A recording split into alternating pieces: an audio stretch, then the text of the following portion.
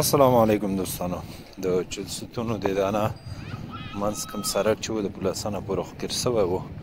او دې طرف ته د نن کر شروع کړی دی د نومبر شپږشتم تاریخ دی او کار یې ډېر کړی دی ونه فعلا یولس نیمې بجې دي او دوی تقریبا دوه درې سوه متره کار کړی لکه نسبتا چې نور ځایونو کې کار کوي هغې نه کار ټیټ روان دی او د پل نه هغې طرف ته چې وو بیا دا د بایسکل لاره او پیاده رو د تیږې لګولې وې نور کار یې نه و کړی خو لکه ساحه یې معلومه کړې وه چې دا پیاده رو دی دا ګلدان دی او دا یې پیاده هغه دی بایسکل لاره ده او دلته نو کیر شروع ده له خیره هغې طرف ته بیا کیر ته آماده دی یو لیارې پاتې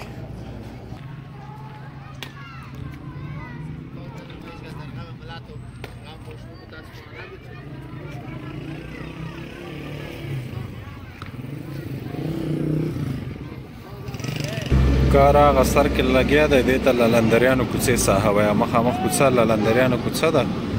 او دې زه پورې دا کار را روان کړی د سخکاری چې نن دوی د دانا ته دا طرف ورسي هغه طرف خو یو لیر بیا ورول غوړي غنه بعد کړ کول غوړي نو دا لاره بنده وه د خلکو د تګ راتګ لپاره بس دا ورته خلاصه کړه دا چې جو قیر سي نو بس ابا نه موټر په خوشي کې خلاصه بسي او څلور پنځه ځایه سره یوټیوبران راغلي ولاړ دي انټرویوانه شروع کړي دی هغه سر نه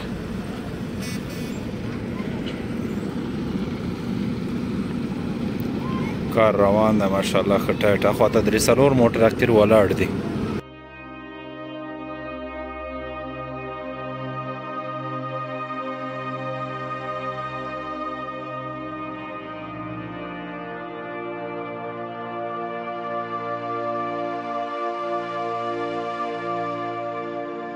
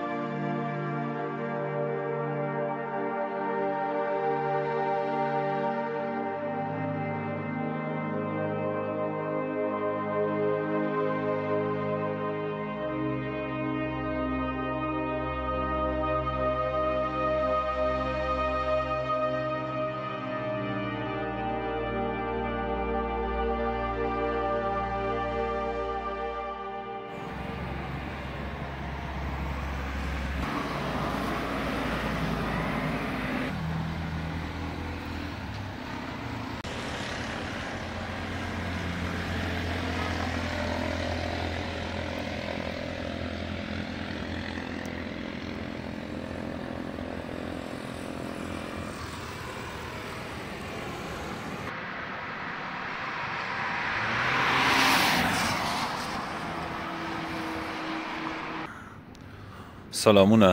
درې ورځې بعد د هغې ویډیو نه راغلو دلته نن باران ورېده بیرون راووتلم مال چې تاسو سره هم بس د موسم شریک کم دا باراني او دا سرک خو د سرک نو سرک دی کم چې ستانیک زیو هوادوالو منځ کې دی دا سرک مکمل جوړ دی لوحې ګروپونه سرک پیاده رو ګلدان هر څه مکمل دی روډ مارکینګ دا خو به څویمه ویډی وي خو هغه ورځ چې د چلستون قیر اچول کېده ماما زوی واده مې و هلته تللی وم نو ما ویل دی چې قیر اچول کېده لږ ویډیو مې وکړه نو بیا نور بیخي اوزګار نه سو نن درې ورځې بعد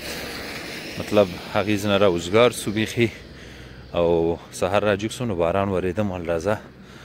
دا ویډیو به تاسو سره د دې سره هم شریک کو دواړه به سره یو ځای کو چې دا نظارې به مو ګورئ نو هغلته مې بیا ډېر وخت پیدا نه کړ چې مکمل سرک مې تاسو ته ښودلی وای نو هغه سرک خو بیا په سبا بل سبا چې زه اوزګار وم تلمه سرک مکمل کړی و په همغه اوله ورځ باندې د پولاسن نه تر هغه پورې د حوزې پورې د دانا پورې مکمل کړی و او نن راغلم دې خواته دې خواته څه راغلم همدلته هم کورونه دي نو راووتم چې باران مو الله زه دا ساحه تاسو سره نظارې شریکې کړم باران دی لږ لږ اوبه چې دا بغلو کې ودرېدلې دي دا اوبه دغه سوریو دپاره دي چې دلته لاړې سیدې کړي نو دغسې نظاره ده د دې ساحې ستانک زوی طرف ته روان یم دا ځینو دوستانو به ویلې که نه چې دا روډ مارکینګ کومې نښې چې دي دا ښې نه دي بدلې لږ رنګ یې کړی دی نو ځکه تورې اوښتې دي هغې وجه د تورېدو دا ده چې اکثر دلته دا رکشو والا، موټرو والا د دې لینو د پاسه ځي. زه مو سرک کې روان یم، پیاده رو مې پرېښي، همدې لپاره ما چې تاسو سره زه دا شریک کړم. نو هغه د دې د پاسه ځي چې بریک ونیسي، دا توري کې سره دا که دا ټایر بایسکل والا چې پرې بریک نیولی دی. لکه څنګه چې دې ته ګورې نو اوس چې باران سه نو بیرته ټایرونه چې پیزي راځي نو هغه ګرد دی هغه خیره هغه سره بیرته پاکیږي مکمل لینونه بیرته صفا سوتره سو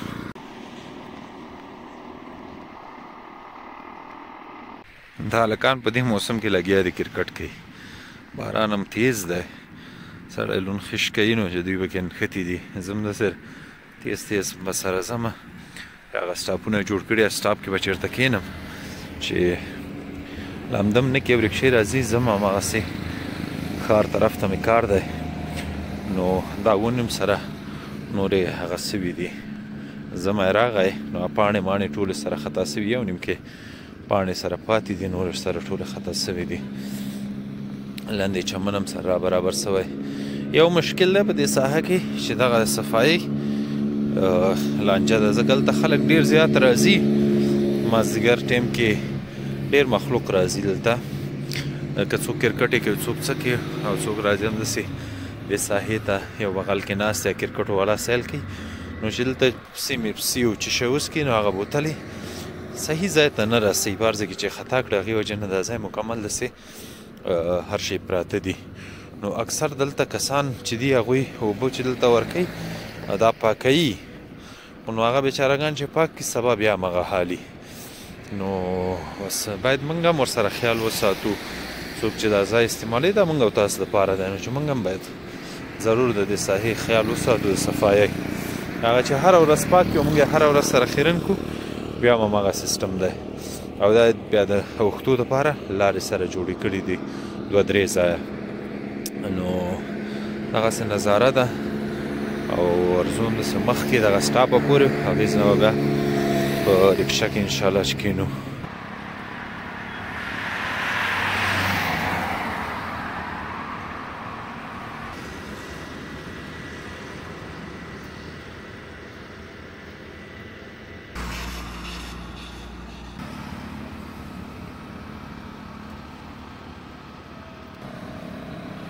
د دې صاحب ادا خطوب څه چې بس باران یې واوره یې کرار چوکۍ ایښي دي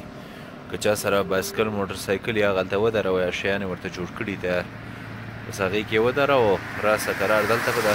چوکۍ کېنه بره د هغه ورکړی ده چې لمر او باران او د واورې هر څه نه بچي نو وې دا خه څه کرا مخه کې سټاپ ده